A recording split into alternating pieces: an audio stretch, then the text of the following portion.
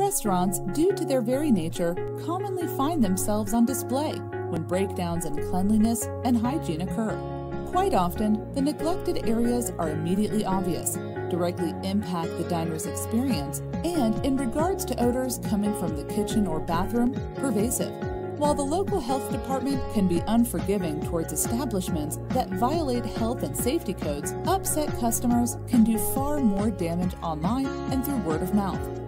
According to the Back Burner, a recent poll conducted by Harris Interactive reveals that 88% of people who encounter a dirty restroom at a restaurant think this reflects poorly on the sanitation of the rest of the establishment, including the kitchen and food preparation areas. Of those, a full 29% said they would never come back to a restaurant whose restroom they found to be very dirty.